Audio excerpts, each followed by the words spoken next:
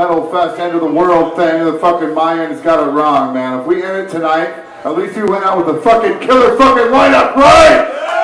Fuck the Mayans! We're here tonight, the Josephine, to have a fucking good time and see some of the best bands you've ever fucking seen. I'm even fucking shocked that I pulled this fucking lineup together tonight. So, uh, you know what? We got some fucking rad shit. I'm gonna do a couple more quick fucking jokes. It'll be quicker than you can stroke your grandma off in the fucking bathroom of Josephine, which is pretty quick because a lot of people are waiting in line, you know what I'm saying? Alright. So what's the difference between a gay guy and a straight guy? Yeah, a bottle of Jameson and a fucking maybe six manis. Ha! Can I get a rim shot? Oh, it was pretty, that was a bad one. I feel like I have to be more absurd. I've never done comedy. Actually, this is my second comedy at a metal show. I got kicked out of the Comedy Underground. You know, they do the open mic comedy things on like Monday night, you know? And I didn't know you have to like literally show up there at like 7 at night and like, wow, you know, there's like 150 people there waiting to get their little fucking three minutes of comedy and they cut you off. And then it's, um, so it's, you know, there's actually some pretty good guys there. It's like, if you want to do stand-up comedy in Seattle, you've got to go to the Comedy Underground.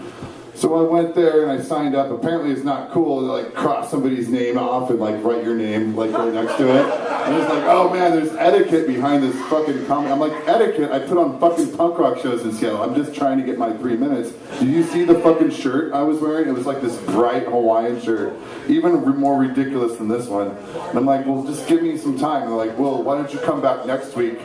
And we'll forget this ever happened. And I'm like, and then I have to sign up like all the rest of everybody. I'm like, what the fuck, dude? So I ended up going, it was a Monday night, I ended up going to the Two Bit Saloon. It was like Monday metal night. I called up my buddy Wes, and he was like, holy shit, They're like, yeah, I guess I'll let you. He wasn't excited actually. He was just like, yeah, Greg, I'll let you do some comedy here. I had like three people like coming around with me to support it. So I did some comedy at the Monday Metal at fucking Two Bit, and it was fucking awesome. I was the only comedian there, no competition, and I did a couple metal jokes. I'll do one more in um, seven-year-old blind girl. What did the seven-year-old blind girl get for Christmas? Cancer. Cancer. That's a warm one. I know. You guys. I try to touch people's hearts when I'm at shows because if you just touch their cock, first off, it's just awkward. Then you have to buy them a drink or explain why you touched a fucking 15 year old. I'm like, dude, I thought you were 19. What the fuck? You know, you didn't show me ID prior to the rape. I know. So I know, like, whenever I come to the Josephine, I it. This one's about David Elvis Beckel. I kind of ruined it, but um, anyways, every time I come to Josephine, I love it. And every time I see Cake and Bowls, I love it. It is great. And there's some beautiful ladies in the audience, but I have to give up to David Elvis because he's got the best rack and fucking ballad, right?